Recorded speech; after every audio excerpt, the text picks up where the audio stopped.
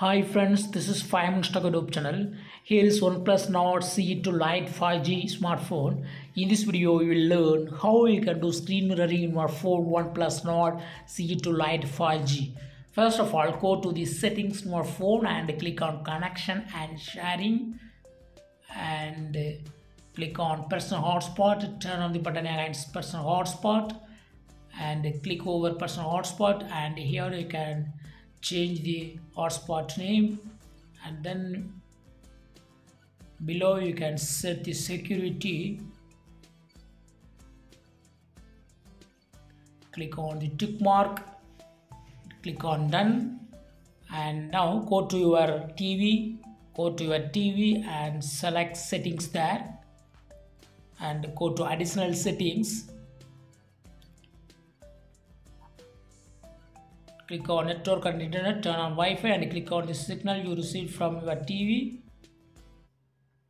yes it is connected successfully. Now come to your phone and go to Google Play Store and search with the term Google Home. Google Home.